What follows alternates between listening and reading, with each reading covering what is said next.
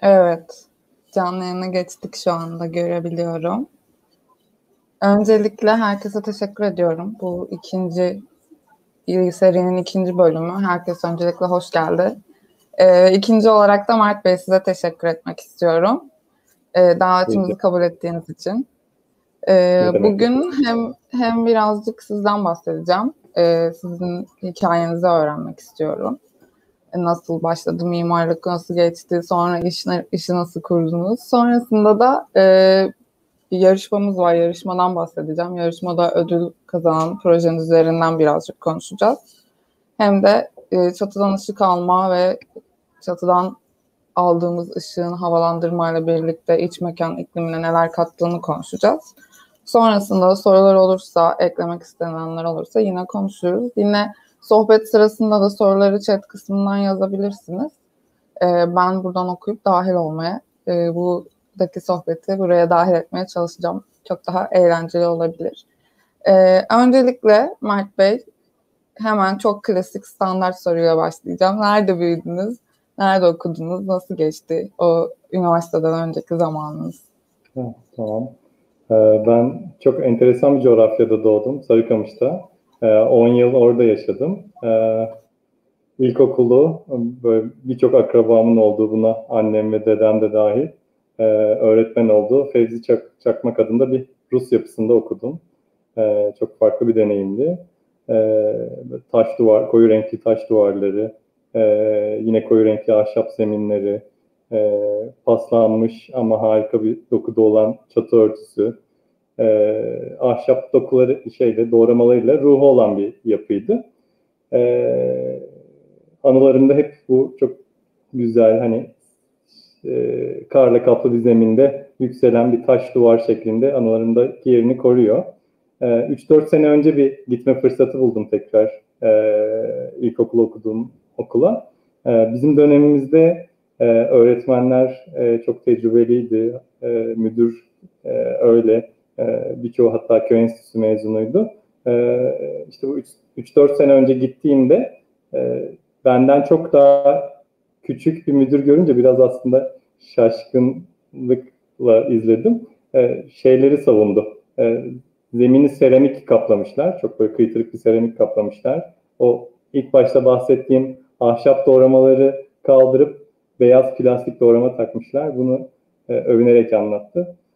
Umarım ileride tekrar e, buraya müdahale etme şansım özellikle kendimin de içinde yer aldığı bir ekipte olmak isterim. E, yani çivi bile çakılmanın çakılmasının yasak olduğu bir korunan bir yapıda e, kafaya göre bam işler yapılmış. E, onun dışında ilkokuldan sonra üniversite gelmeden kalan eğitimimi Karamürsel'de e, okudum. Karamürsel'de yani Sarıkamış gibi böyle çok farklı bir coğrafyadan, farklı birçok kültürün ortak kesişimi bir alandan Karamürsel'e gidince biraz daha e, etki farklıydı bendeki. Etkisi farklıydı. E, çok e, muhafazakar kültürde bir yer, sahil kasabası. E, okul eğitimim çok keyifli geçti, o ayrı konu ama e, genel olarak çok iç açıcı bir e, şehir olarak görmüyorum Karamürsel'i. E, aklımda hep e, liseyi okurken hep İzmir vardı. Yani neden Hı. bilmiyorum. Belki hani dışarıdan bakınca çok özgür bir şehir olduğundandır herhalde. E, Belki. Çok orada orada yaşamışlığım olduğu için değil. E, ve mimarlık vardı her zaman. E, 2002 yılında da 9 Eylül Üniversitesi'nde Mimar Fakültesine girdim. Lisans eğitimim de İzmir'de devam etti ve hala da İzmir'deyim. Eğitim orada başladı, e, orada başladı, orada devam etti diyebiliriz. Evet. Genelde öyle oluyor. Ben de İstanbul'a yakın okudum, ben de Gebze'de okudum. Ee, Gebze'den aslında öyle bir kampüste okuduktan sonra birden böyle şehrin içinde çalışmaya falan başlayınca e, mimarlık deneyimi de aslında çok farklı şekilleniyor o e, geçmişte yaşadığınız okuldan sonra lisede geldiğiniz sosyal çevre bazen binalar etkili oluyor. Sizin evet. söylediğiniz gibi ilkokulda okuduğunuz binalar bazen de e, girdiğiniz yeni sosyal çevre etkili olabiliyor. Ben hep insanların üniversiteye gittiği şehrin de e, aldığı eğitimin de mimarlık bakış açısının etkisi olduğunu düşünüyorum. Üniversite üniversite gerçekten özellikle Türkiye'de bunun değiştiğini görüyoruz. E, Ege Üniversitesi'nde okudum dediniz. Peki o mimarlık pardon pardon 9 Eylül'de okudum dediniz. Ee, peki oradaki e, mimarlık eğitimi sırasında nasıldı her şey? Yani işte şunu çok seviyordum, şunu hiç sevmiyordum ama bir şekilde e, yaptım, mezun oldum diyebileceğiniz böyle özel sevdiğiniz şeyler var mı? Tamam. Yani mimarlık eğitiminin e, fiziksel şartlarını öncelikle belirgin bir şekilde ikiye ayırabilirim. E, ilk başladığımızda yine e, ruhu olan, o ilk ilkokulda anlattığım e, etkide ruhu olan bir yapıda başladık eğitime Alsancak'ta. E, Güzel Sanatlar Fakültesi ile beraber Alsancak'ta kentin tam ortasında yani iç içe bir eğitim. E, sonra üstten hatalı bir kararla bence Buca'ya yeni fakat çok da nitelikli olmayan bir yapıya taşındık.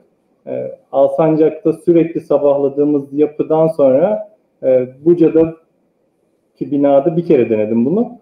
Ardından hiç denemedim mesela. Aslında bu bile bana şeyi gösterdi. E, mimarlık eğitiminin kentle iç içe olmasının e, ne kadar önemli olduğunu gösterdi. Bunu yaşadığım için belki iki tarafı da yaşadığım için şanslı da olabilirim. E, nasıl geçtiğine gelirsek de e, yani lise döneminde hani matematik, fen haricindeki ezbere dersler den sonra üniversite dönemi bence güzel geçti. E, tabii ki üniversite döneminde de ezbere dayalı birçok ders var ama onları çok tak, taktığımı söyleyemeyeceğim. E, onun dışında proje ve çizim dersleri iyi geçti. Çok sorunlu bir eğitimim yoktu. Güzel yani memnunum durumda. Çok güzel, harika. Peki e, devam ettiniz mi okumaya yoksa lisansa ben artık akademiyle işim yok, kendi işimi kuracağım. Hmm. Yani o süreç peki nasıl oluyor? Çünkü ben e, belki de sizde yoktur ama şunu çok deneyimliyorum. Okuma okurken sınıftaki büyük çoğunluk aslında okumaya devam etmek istiyor. Tasarım süreci çok uzun bir süreç olduğu için. Ama sonra iş hayatı e, genellikle bunu bundan vazgeçmek zorunda bırakıyor bizi. Ya da tercih bu şekilde ilerliyor. Ee, sizin bu süreciniz nasıl gelişti? Üniversitede ya ben bunu okumaya devam etmek istiyorum dediniz mi? Sonra kendi işinizi kurmaya nasıl karar verdiniz? Nasıl bir iş, kendi işinin patronu olmak onları öğrenmek istiyorum. Tamam.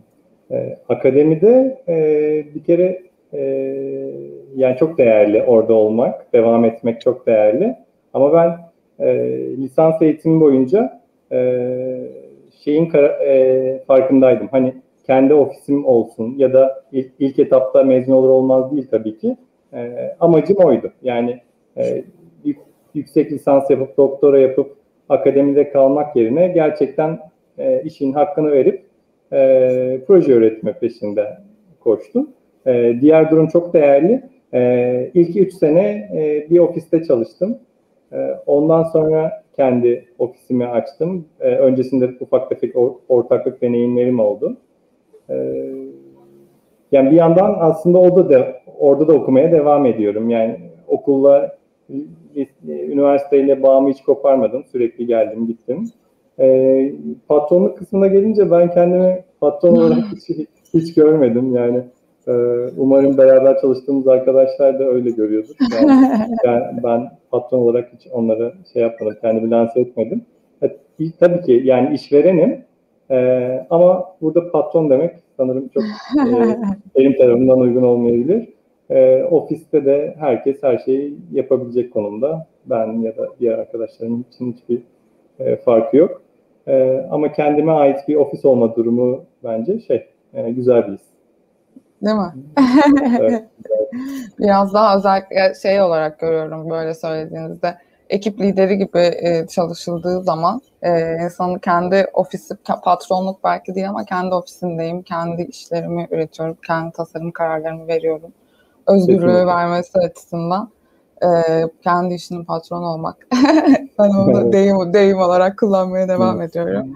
E, onun verdiği bir keyif olduğunu düşünüyorum. Peki e, iş hayatının iş hayatıyla birlikte tabii e, şey de oluyor. Mimarlar özel e, üretim ustaya kendileri çizdikleri detaylarla kendi e, kapılarını, pencerelerini ürettirdikleri dönemlerde olabiliyor. Bazen de böyle büyük markalarla çalıştıkları dönemler de olabiliyor. E, Velux aslında mimarlara bu konuda çatıdan ışık alma konusunda yardımcı olan bir marka. Yaklaşık 20 yıldır da Türkiye'de. Siz nasıl tanıştınız Velix'le? İlk karşılaşmanız nasıl oldu? Onu öğrenmek hmm. istiyorum. Ee, yani enteresandır benim Velix'le karşılaşmam. Çok erken dönemde bence karşılaştım. Yani bir öğrenci için. Ee, lisansı okurken sanırım ikinci sınıf olabilir. İlk duyduğum markalardan birisidir Velix. Ee, bir hocamız elime bir yarışma broşürü tutturdu. Ee, 2000, 2004, 2004 ya da 2005 olabilir. Ee, uluslararası bir yarışma bu dedi. İncele istersen e, belki beraber girebiliriz diye bir teklif aldım. Ee, yani yanlış hatırlamıyorsam Daylight and Architecture olabilir yarışmanın ismi sallıyor da olabilir ama öyle bir şey sanırım. Ee, aslında öyle bir yarışma var hala devam ediyor. Biraz sizi dinleyeyim sonra hemen onu da yeni hmm. halinden bahsedeyim. Ee, o zaman çok araştırmıştım Melik. Hani girmek için de heyecanlandım ama ikinci sınıfta bizim özellikle bizim dönemde de bilgisayar kullanımı yok. Yani hatta yasaktı, yoktuyu geçelim. Ee, her şey elleydi. Ee, çok hakim ol, olmadığı, yani kimse hakim değildi bilgisayar programlarına da. Ee, çok araştırdım, istedim ama e, o yarışmaya girmesem de uzun yıllar o broşürü yanımda, yani mezun olduktan çok sonra da e, sakladım. E, belki şuna yol açmış olabilir mesela. Öğrencilik döneminde artık 3. sınıfta, 4. sınıftan sonra öğrenci yarışmalarına girmeye başlayınca e, hani 4 yarışmaya girdim. Ufak tefek de olsa 4 tane ödül aldım. Belki Velix buna yol açmış olabilir. en azından evet. e, sizin yarışmacı bir mimar olduğunuzu biliyorum. E, bilmiyorum öyle anılmak e, sizin için doğru bir tanım mı? Ama hani yarışmada yarışmada sanki görüyorum hep bir e, bir mansiyon bir bir şeyler sizin isminizi görüyorum. E, ona vesile olmuş olmak Velux açısından e, keyifli bir durum. Velux'un e, hem mimarlar arasında e, projelerini yarıştırabilecekleri hem de aslında gün ışığına dair üniversitelerde hem akademik olarak bir çalışma, bir proje yürüten hem de mimari bir proje yürüten e, ekip var ise onların fikirlerini dahil ettiği yarışması var. International VLX Award şu anda. IVA diye kısaltılıyor. E, iki yılda bir düzenleniyor. 2020 yılında e, Türkiye'den katılan bir ekip bir 10 tane e, regional kazanan belirleniyor. Bölgesel kazananlar. O 10 ekipten bir tanesi Türkiye'den. E, ya Haziran ayının da başında artık bu son jüriye girecekler ve canlı olarak online canlı yine bizim yaptığımız gibi e, bir jüri süreci olacak. E, yani bu süreçte şeyi duymak sizden üniversitedeyken bunu Velix'le tanışmış olduğunuzu duymak sonrasında da şu andaki geldiği durum Velix'in üniversiteler arasındaki ilişkide çok sevindirici. Buradan e, İTÜ'deki ekibi tekrar tebrik ediyorum. İzliyorlarsa da umarım birinci onlar olur diyorum. E, şeyi sormak istiyorum. Hani Velix Türkiye'de, e, Türkiye ekibiyle ya da Türkiye'nin Velix Türkiye'nin adını nasıl duydunuz? E, bu az önce bahsettiğim mimarlar arasındaki o proje yarışmasıyla alakalı mı yoksa öncesinde duyduğunuz, kullandığınız bir e, dönem oldu mu ürünle ilgili? Tamam. Yani özellikle son dönem yaptığımız işlerde çatıdan ışık ve hava almayı önemsiyoruz. Ee, çatı pencereleri e, gün, ışı, gün ışığının içeriye dengeli ve e, homojen bir şekilde alınmasını sağlıyor. E, yap, ilk Velux e, Türkiye ile nasıl tanıştık? E, yaptığımız bir kamu işinde çatıdan ışık alıyorduk. Aradık ve çok yardımcı oldular. Hem şartname hem çizim anlamında. E, ilk öyle tanıştık Velux ekibiyle.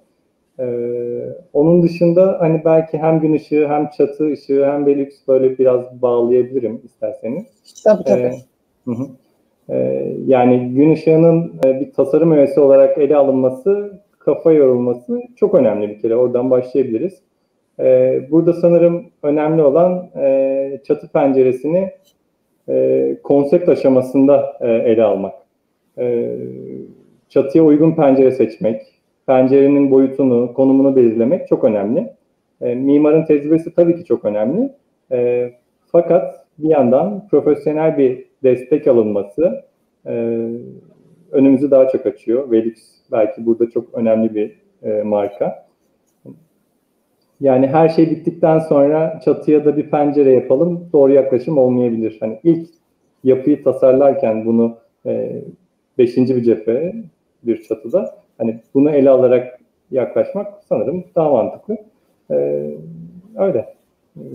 Anladım. Peki e, Velix'in e, bu konuda başlangıçta özellikle destek olmasıyla birlikte tanıştığımızı söylüyorsunuz. Buradan şuraya gelmeye çalışıyorum. Genel olarak e, ilk söylediğiniz şey erken aşamada çatıdan eğer ışık alınacaksa e, karar verilmesi gerektiği düşüncesiydi. Peki e, başka öneriler olabilir mi? Yani biraz böyle hızlıca bilgi ver, almak istiyorum sizden çatıya pencere koyarken nelere dikkat ediyorsunuz? Yani pasif iklimlendirme ile alakalı bazı noktalar olabiliyor. E, tercihen ısıtmak istediğiniz odaya işte güney cephesine pencere koyup ya da tercihen soğut, soğutmak için merdiven kovası veya kuzey yönüne bakan bir pencere koymak gibi özellikle dikkat ettiğiniz bir şey var mı? Ben kendimden örnek vermek istiyorum. Ee, özellikle hani karar aşamasında bana ya nereye çatı penceresi koyalım sorusu geldiğinde ben ilk başladığım yer benim hep merdiven kovası oluyor. Çünkü e, çapraz havalandırmaya ekstra bir e, şey katmış oluyorum. Bir baca etkisi yaratmış oluyorum. Böylece e, hem havalandırma hem de o iki ayrı kotu bazen üç ayrı kotu birbirine bağlayan düşey elemandan aşağı ışık da taşımış oluyorum. Sizin var mı böyle ya şuraya bence olmalı, şuradan düşün, şu noktalardan gün havalandırma düşünmeliyiz dediğiniz yerler? Ee, aslında yani şu aşamada bunları konuşuyor olmamız çok değerli ama e, gün, gün ışığının yani tasarım öğesi olarak kullanılması yani antik Roma'ya dayanıyor. Hani e, duvar açıklıkları, e, pencere konumları, boyutları, e, yapının konumu hep hesaplarla belirlemişler o dönem. E, biz e, şu anda kolay bir şekilde ısıttığımızı, soğuttuğumuzu sanıyoruz yapıları. Ama bunu doğal yöntemle yapmak çok daha değerli. E, yani gün ışığı hani mekansal kaliteyi arttıran e, ve insanla doğayı e, doğanın bütünleşmesini sağlayan bir unsur. E, benim de burada yani önereceğim şeyi iki başlıkta yine toplayabiliriz belki. E, birinci düşünce ne olabilir? Şey, e, enerji kazanımı. Hani e, çatı penceresini ya da cephedeki pencereleri de buna katabiliriz. E, koyduğumuz yerler enerji kazanımına yol açıyor mu? E, özellikle elektrik tüketiminin yaklaşık e, yapılarda özellikle yüzde otuzunun aydınlatma enerjisi olduğunu düşünürsek e, kritik önem taşıyor. E, nereye koyduğumuz, nasıl koyduğumuz. E, ikinci başlıkta da e, biraz daha konforu düşünebiliriz belki. E, burada hani sağlıktan tutalım. Yani hastanede e, gün ışığının baktığı yerler baktığı yerdeki hastalar daha çabuk iyileşiyor. Ya da e, eğitim eğitim yaşındaki çocukların e, gün ışığıyla daha çabuk öğrendiği kanıtlanıyor. E, bir yandan temiz havalanma meselesi, mutluluk. E, dolayısıyla bir de konfor meselesi var. E, bu kriterleri düşünerek herhalde e, çatı penceresini tasarlamak, koymak gerekiyor. Çok teşekkür ederim verdiğiniz bilgiler için. Benim evet. için de e, yine e, tekrar yeniden yeniden düşünme fırsatı oldu. Aslında tek bir ürün e, ya da tek bir fikir çatıdan ışık alma fikriyle e, beşinci cephe olarak gördüğünüzü söylediğiniz durumda e, bambaşka şeyler aşağıda nasıl hareketli bir e, hareketli tefrişlerle belki bir hayat ya da aşağıda gün içerisinde farklı odalarda vakit geçirilen hayatlar e, kurguluyoruz ama gün ışığının da aslında gün içinde dolandığını ve içeride farklı senaryolara göre çalışabileceğini de e, düşünmüş olabiliyoruz çatıdan ışık aldığımızda. Bu bizi biraz daha e, aslında elimizde bir kart daha oluyor. Bizi sadece cepheden alacağımız e, ışık ve doğal havalandırmaya mahkum bırakmamış oluyor diye düşünüyorum. Ee, bu Pardon sözünüzü kestim. Yani Buyurun. aslında belki burada şey de konuşabiliriz. Hani endişeleri, e, insanlar çatı evet. pencereleri e, koyarken ne endişe ediyorlar, nasıl çözümler var. E, belki o ön yargıyı yıkmak lazım. Şu anda hani e, do, tabelasına doğramacıyım diyen çatı penceresi yapıyorum iddiasıyla çıkıyor. Ondan sonra orada hani e, yalıtım sorunları çıkmaya başlıyor. Bu sefer çatı penceresi kullanmayalıma dönmeye başlıyor iş. E, Velux bildiğim kadarıyla çok inovatif bir e, marka. E, yani yanılıyorsam düzeltebilirsiniz ama e, hava durumu sensörleri, hani e, iç, iç mekan iklim sensörleri, havalandırma sensörleri gibi unsurlarınız var, perdeleme unsurlarınız var. E, belki hani endişeleri buradan giderebiliriz. Evet, Akıllı evet, evet. var. E, genellikle sizin söylediğiniz gibi e, su alma detaylarla ilgili e, endişeler olabiliyor. İkinci konuda işte çok sıcak olur mu ile ilgili e, endişeler. E, şunu söyleyebilirim. Ürünler Evelix yaklaşık e, 80-80. yaşını kutluyor. 80 yaşına gelecek önümüzdeki yıl. E, sadece çatı penceresi yapan bir firma ve e, çatıdan ışık almak veya çatıya bir doğrama bir pencere koymak aslında cepheden çok daha farklı dinamikleri olan, e, çok daha farklı çalışılması gereken konu. E, çatının çok fazla handikapı var. Rüzgar var, işte yağmur var, güneş var. E, gece gündüz arasındaki sıcaklık farklılıklarından çok fazla etki. Kabuğu sonuçta ve oraya e, size şöyle bir iddiada bulunuyoruz. Oraya ben pencere takacağım. Oradan camdan gayet yoğun bir gün ışığı alacaksın ve su almayacaksın. Bunun e, garantisini hem 80 yıldır tek bir işte inovatif olarak gelişmesine bağlıyoruz. Hem de e, çok yoğun dünyada ustasını eğiten, sürekli ustalarıyla hem e, ürün bazında hem de yeni gelişen çatı malzemeleri, yeni gelişen detaylar bazında sürekli ustasını eğiten bir e, marka. E, o nedenle de hem ürünün kendisi e, bu, bu yıllık tecrübeden hem de ustanın sürekli aldığı eğitimden dolayı montajın da e, garantisini sağlamış oluyor sürekli eğitimden. O nedenle e, ve dünyanın her yerinde de var olan hemen hemen her yerinde var olan bir marka olduğu için farklı coğrafyalara göre farklı cam seçenekleri de var. E, farklı e, fiziksel sorunlara çözüm getirebilecek soğuk endişesi için soğukla alakalı, sıcak endişesi için sıcakla alakalı. O nedenle yaygın ve bu e, ciddi işi aslında işi bilen yıllardır bu işi yapan firmaya teslim etmek çoğu zaman e, kullanıcı konforu açısından çok faydalı oluyor. E, ve diğer iç mekan konforunu arttırmaya yönelik e, olan girişimleri özellikle bu biz bunu pandemiden çok daha önce yapıyorduk ama pandemiden sonra e, bu Covid koşullarından sonra çok daha önemli olmaya başladı. E, eğitim mekanlarında, toplu vakit geçireceğimiz her yerde aktif havalandırma ihtiyacı doğuyor. E, bu aslında bizim günlük hayatımız için de gerekli bir şeydi.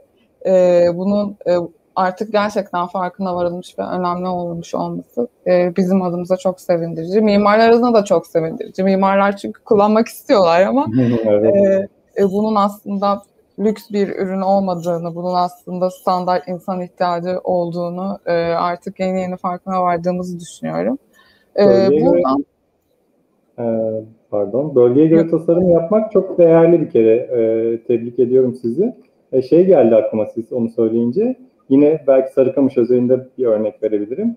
E, orası tabii iklim çok farklı olduğu için e, çatı örtüsünde kiremit kullanılmıyor.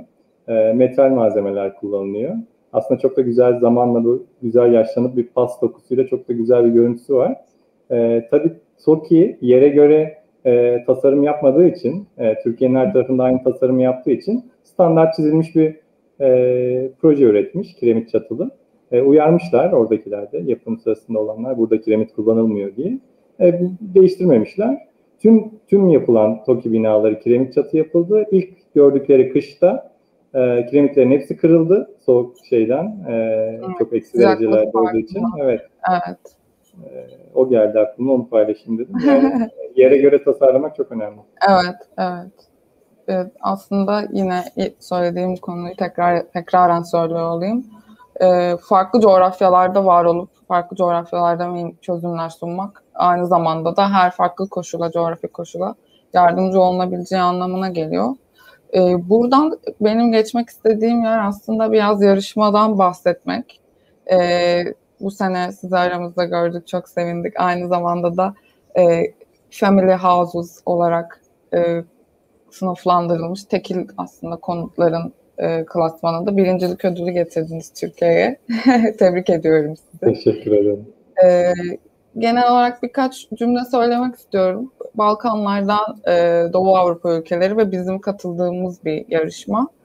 E, bizim ikinci katılışımız bu sene. E, Türkiye'den çok da değerli, kıymetli projeler geldi. Aslına bakarsanız e, yarışmaya özel bir proje üretimi yok.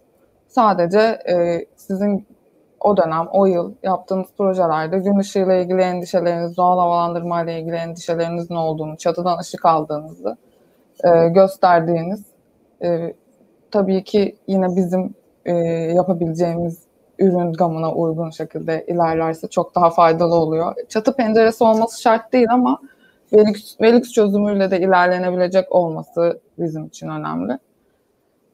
Bu e, yarışmada da aslında Koray Arslan Evi ile e, Gün Işığı'yla jürinin ilgisini epey çekmiş proje. E, birazcık o projeden bahsetmek istiyorum. Size nasıl geldi, nasıl ilerlediniz? E, sonrasında yarışma süreci, yarışmayı nasıl gördünüz, nasıl başvurdunuz gibi şeyleri de konuşmak isterim. Tamam. Ee, şeyden başlayabilirim. Hani e, farklı coğrafyadaki mimarların e, yaptığı işleri görmek, e, onlarla bir e, yarışmaya girmek heyecan vericiydi aslında. E, doğal ışığın etkin kullanılmasının yani özellikle hikayesine önem veren bir yarışma anladığım kadarıyla. Evet. E, altı dalda e, şey vardı, ödül veriyorlardı. E, Türkiye'den de bunların içinde iki tane e, birincilik ödülü var. E, Erginoğlu Çalışlar mimarlıkta bir ödül aldı. Evet, e, doğru. Ben de mutlu oldum kendi adıma. Koray Arslan Evi e, yani nasıl geldi bana? E, aynı anda e, iki aile e, belki tarz olarak da biraz farklılar. E, Koray eski bir tam e, futbolu bıraktığı sezon e, Anadolu kulüplerinde oynayan bir arkadaş. Futbolu bırakıyor ve artık e, kendi müstakil konutunu yapıp oturmak istiyor. Bir yandan da Kore'ye çok yakın bir e, parsel daha var. Onlar da Fransa'dan e, Türkiye'ye gelen yine kendi biraz daha muhafazakar olan aile. E, aynı anda geldiler. Süreç aynı anda ilerledi. E, keyifli de bir süreç oldu Kore'nin e, projelendirme süreci. E, e Kore'nin evinde e, nelere dikkat ettik? E, belki onlardan bahsedebilirim. Evet. Hani, ya da şöyle tekil tekil konut tasarlarken nelere dikkat ettik? Evet, oradan evet. oradan Hı-hı. gelip sonra Koray Arslan özelinde detaylayabiliriz. Tamam. Ee, yani Covid-19 sebebiyle evlerde daha çok zaman geçirince aslında iç mekandaki bu gün gün ışığı hani doğal havalandırma konforunun önemini çok daha iyi anladık. Ee, ışığın, temiz havanın ve e, mekanın e, insanların günlük deneyimlerine derin bir etkisi var aslında. E, her işlev önemli tabii ki. Sadece konut, müstakil konut dememek lazım. E, ama tekil konutlarda fizyolojik ve e, psikolojik konfora çok önem veriyoruz. E, o yüzden böyle kıytırık e, küçücük pencereler yapmıyoruz hiçbir, yapmıyoruz hiçbir zaman. E, yani hastaların iyileşmesinde bile ilk başta söyledim. Hı hı. E, bu kadar et, etkiliyken e, gün ışığı e, müstakil konutta bunun kullanımına çok daha fazla önem veriyoruz. E, yerin özellikleri, e, binanın işlevi, yön ve kullanım e, ve kullanım saatleri e, aslında bizim tasarımımızı belirliyor. E, Kore'nin evinde de tam olarak e, böyle ilerledik. E, iç dış etkisine ya da e, ışık hikayesine önem veriyoruz. E, enerji etkin bir bina olmasına önem veriyoruz. E, Kore Nevi e, güzel bahçede. E, aşağı yukarı 940-950 metrekarelik bir parsel. E, yapının doğu cephesi tarafında e, çam, zeytin ve incir ağaçları var. Çok değerli bir ağaç dokusuna sırt veriyor. E, batı cephesine doğru da e, inanılmaz bu büyük, e, güzel bir coğrafyaya bakıyor. E, Büyükşehir, İzmir Büyükşehir Belediyesi'nde yarışmasını yaptığı Olivelo alanına doğru bakıyor. E, arka taraftaki yolla ana parsel arasında e, 240 santimlik bir kod farkı var. E, biz de mantık olarak bu ağaçlara maksimumdaki arkadaki yani doğu, yol tarafındaki ağaçlara maksimumda yanaşıp e, yapıyı baktırdığımız alanda e, büyük bir e, bahçe bırakmaya çalıştık. Yani lineer bir kurgusu var. E, yapıya girdiğimizde mesela bu görüntü e, ve üç katlı galeriler var mekanda.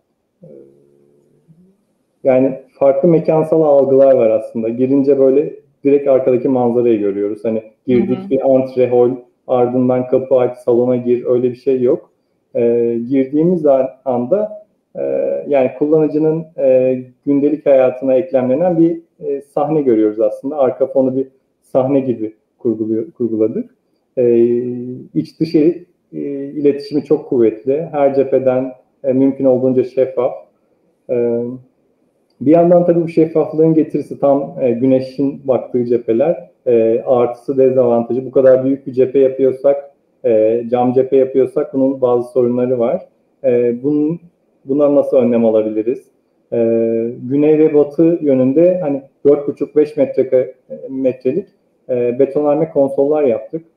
E, yani yazın e, dik gelen güneşi kesiyorken kışında güneşi maksimumda içeri almaya çalıştık.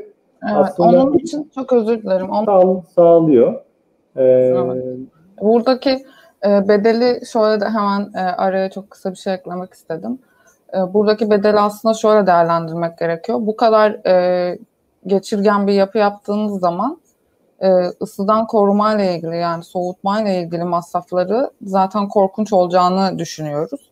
Ama sizin burada konsola yaptığınız yatırım e, yüksek ihtimalle bina ömrü boyunca harcayacağı soğutma masrafının yanında çok daha küçük bir maliyet olduğu için e, göze alınabilir bir maliyet olarak değerlendirebiliriz. Jürinin de e, yarışma boyunca yarışmada değerlendirme sürecinde böyle düşündüğüne inanıyorum. Ben de direkt, yani direkt projeler üzerinden konuşmadık ama e, genel bilgi e, aldığım aldık e, şeyler kazanan projelerle ilgili.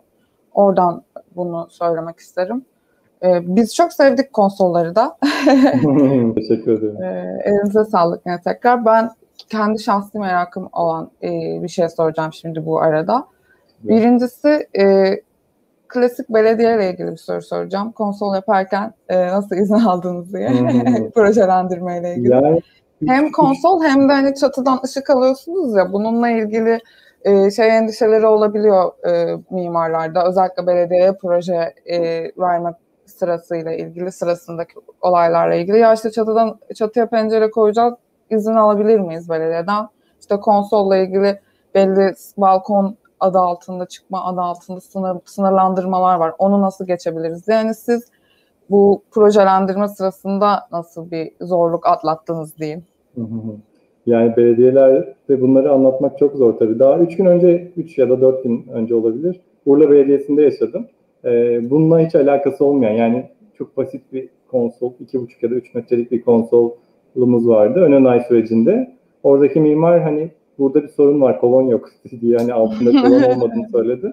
Ben de iki buçuk metre hani sorun olmayacağını e, anlatmaya çalıştım. Yani çok üstelemedi. Sonuçta kuralına uygun e, her şey yapılabilir. E, evet.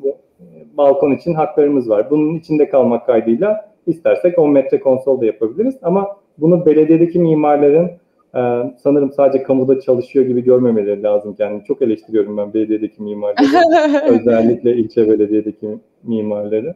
E, böyle kapanıyorlar. E, böyle bakıyorlar. Evet. Hani bir ellerinde bir yönetmelik var. E, evet. Kendilerini çok geliştirmeleri gere- gerekiyor ne yazık ki. Ama e, şunu söyleyebiliriz, şöyle kapatmak istiyorum ben de. Çünkü ben de bu süreçlerde sorular alıyorum. E, yani belediyeden izin almakla ilgili sıkıntı olur mu diye. Aslında güzelce, detaylıca anlattığımız zamanlarda bu işlerin böyle olabileceğini, e, herhangi bir yönetmeliğe ya da ekstra bir şey istemiyoruz aslında. Çatıda ışık almak istiyoruz sadece. Hmm. Ya da ya da çok aydınlık cephe yaptığım için biraz ışık kırmak istiyorum. O yüzden bu var gibi bir noktaya geldikten sonra ancak e, işler kolaylaşıyor. Yani bu süreç için de biraz emek vermek gerekiyor diye e, yorumluyorum ben de. Kesinlikle anlatmak hmm. gerekiyor.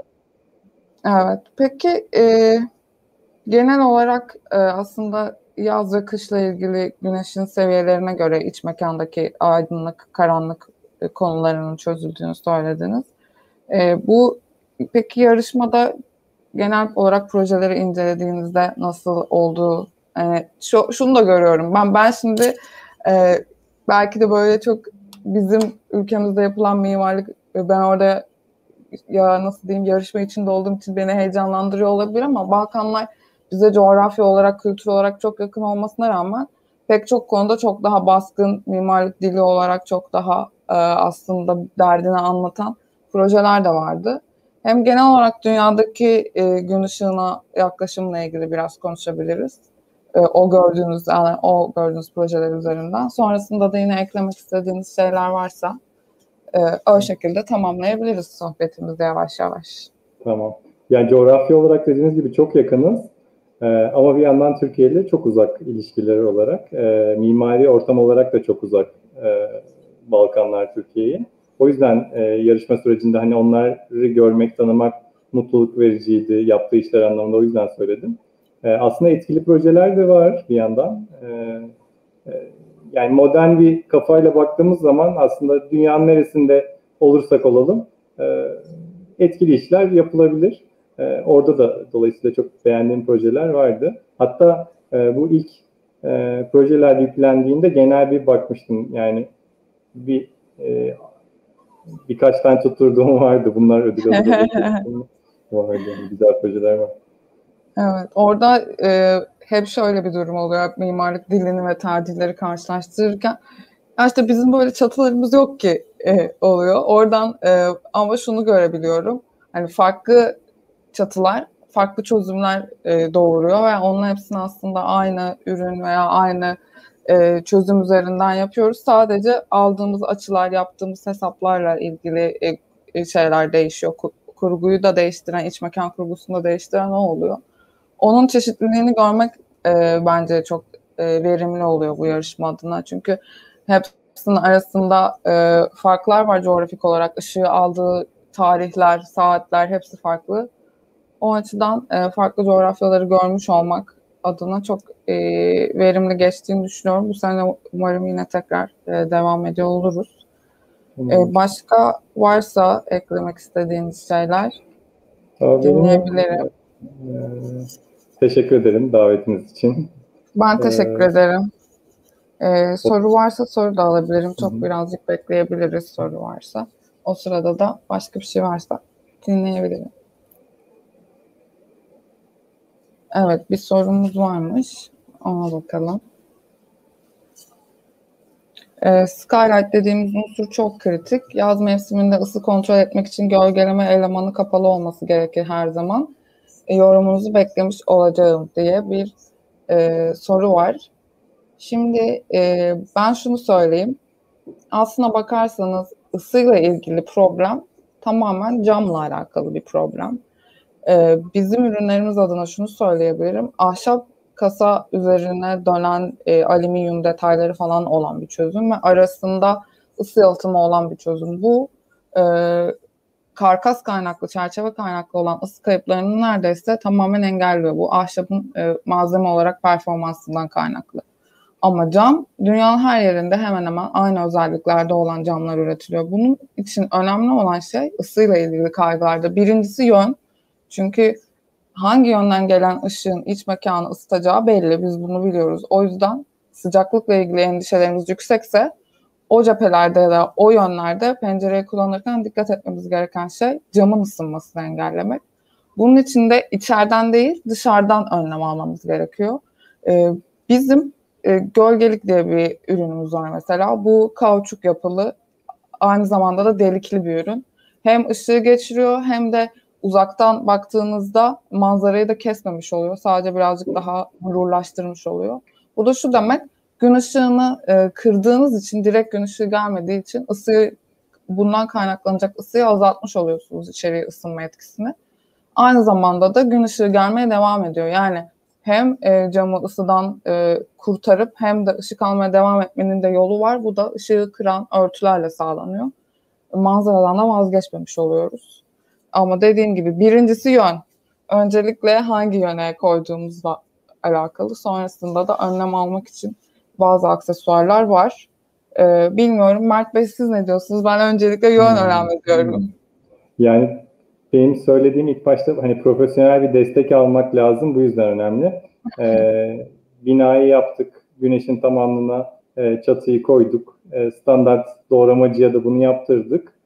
Yani içerisi tabii ki bir de çok kocaman bir şey yaptık ve sera olmaya başlıyor. böyle çok örnek var Türkiye'de de hani e, kocaman cam alanlar, çatı ya da e, cephe fark etmez. İçerisi sera.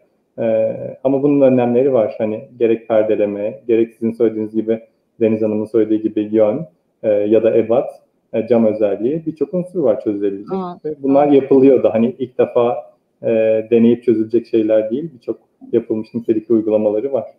Evet. Teşekkür ederim ekledikleriniz için. Eğer başka bir soru yoksa e, yavaş yavaş süremizi de tamamlayabiliriz. Sanırım yok. Ben bekliyorum. Birazcık daha. Tamamdır. Sorumuz yokmuş. O zaman çok teşekkür ediyorum bizi dinlediğiniz için. Ee, bize katıldığınız için Mert Bey özellikle size çok teşekkür ederim. Ee, güzel güzel katkılar yaptık yine bugün Türkiye'de nasıl gün ışığıyla ilgili işler yapıyoruz, yapmalıyız e, konusunda. E, üçüncüsünde yapacağız. Yine e, bizim yarışmamızda Türkiye'den en çok e, beğenilen proje olarak bir mansiyon ödülü alan e, bir projemiz var. Onunla ilgili de üçüncü seride e, konuşacağız. Çok teşekkür ediyorum tekrar. E, görüşmek üzere o zaman. Hoşçakalın. Görüşürüz.